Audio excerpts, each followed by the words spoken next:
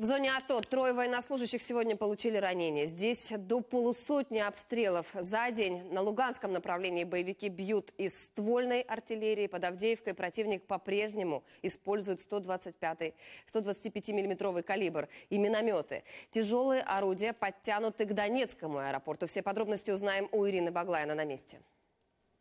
Сейчас полная тишина, потому что позвонили и сказали, обессия работает. Редкое затишье на позициях военных возле Донецкого аэропорта. Перед ними терминалы аэропорта и дачный поселок «Спартак», который боевики давно превратили в свои укрепрайоны и огневые позиции. Виїжджає танк, а там за великим терміналом, цим великий термінал, і працює по нас. Буває кілька, і савушки бувають, виїжджають. Так, щоб вони йшли сюди, немає. Війна на розстоянні. Александру повезло. Он уцелел после попадания из танка по одной из наблюдательных позиций. Наблюдал, как обычно, бинокль. Отошел к телефону, к тапику. И как раз танк ударил. Мне, можно сказать, повезло. Я выскочил оттуда быстро. Ну, ребят немножко посекло. Один тяжело раненый. Уже сделали две операции. Второй контуженный, третий контуженный. Ну, уже идут на поправку, все нормально.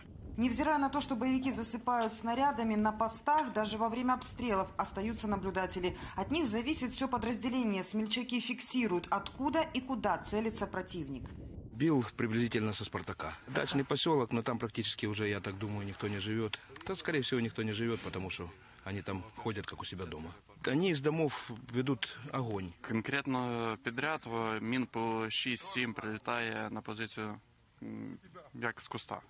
Ну а так о, періодичність може раз в дві години, раз в годину. Казалось бы, тишина – лучшее время, чтобы восстановить разбитые позиции и укрепиться. Но малейшее движение военных вызывает новую волну огня со стороны врага. Тільки починають щось відкупувати або м, діставати пошкоджене майно, з- зразу починають відкривати вогонь.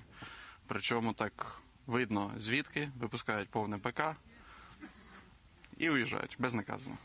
Мишень боевиков – мирный город, который за спинами военных, а цель – психологическая атака, уверены пехотинцы. Помимо нас, он в Авдеевку попадают тоже, по мирным жителям. Пролетают мимо. Это вообще, по сути, мы так, и не их цель, а мне кажется, их цель спровоцировать мирное население. Чтобы это, типа, чтобы войн- против войны это. А мирное население всегда винит тех, кто ближе, правильно? Ну, как летит, конечно, видим. Над нами это все летит. Как по расписанию, после обеда линия фронта оживает. Готовые к вечернему бою военные говорят, их самая крепкая броня – любовь родных людей. Помагай мій синуля, якому сьогодні ісповнилось три роки. Синуля, я тебе поздравляю з днем рождения, желаю тобі щастя, здоров'я, що ти в мене саме лучший. Ирина Баглай, Андрей Костюк, Анатолий Воробей из Донецкой области. Подробности – телеканал «Интер».